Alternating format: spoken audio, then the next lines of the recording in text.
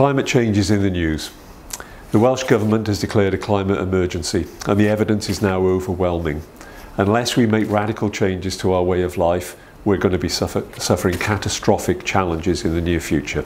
As the climate changes, the quality of our environments will be in decline and as a result the quality of our life will also decline. So we need to make time now to plan and look at how we can adapt to deal with the changes that we know are coming. We've just published the draft State of Natural Resource report. In here we look at the evidence about what's happening in the environment and we look at the options of how we can deal with future changes. The State of Natural Resources report is part of our statutory responsibility and we've just produced the interim report that is a pointer towards the second major report that will land at the end of this year. Now it feels that this is a particularly important time to be producing the interim report. We all recognise that we are in a nature and a climate emergency. We recognise that we are degrading ecosystems through the way we alter habitats, because of invasive species, because of factors such as pollution, including climate change, and because we don't have the correct balance between the way we use our natural resources and the way we protect them. Sonar brings together evidence from a whole range of sources.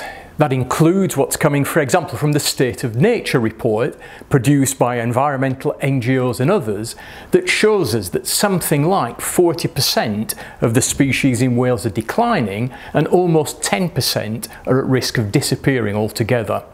All of this is absolutely crucial the environment is not only the bedrock of our economy, but it's at the heart of the way we live our lives. It's fundamental to our well-being both now and of course into the long future. So while we are active economically in Wales, we have to balance the exploitation and the protection of natural resources better.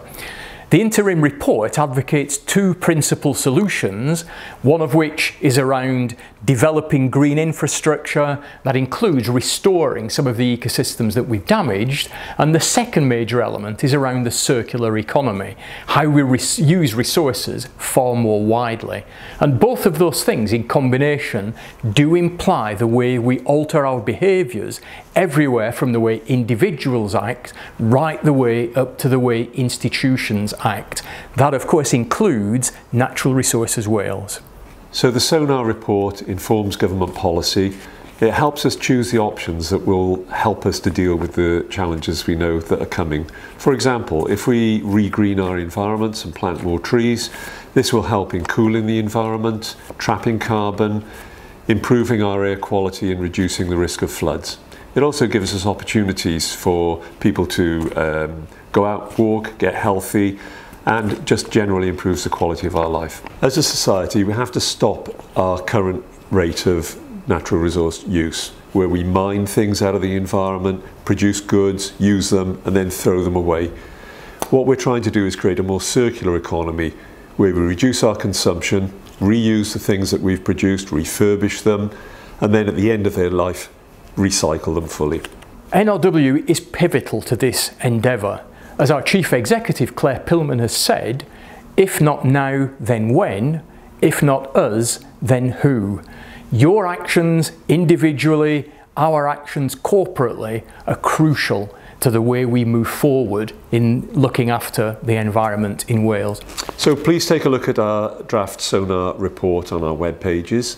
Our staff are currently working hard with partners, looking at the evidence and the options.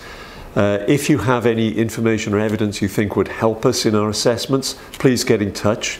We're particularly keen to hear from people working in the health sector or the social care sector where we have a relative shortage of evidence.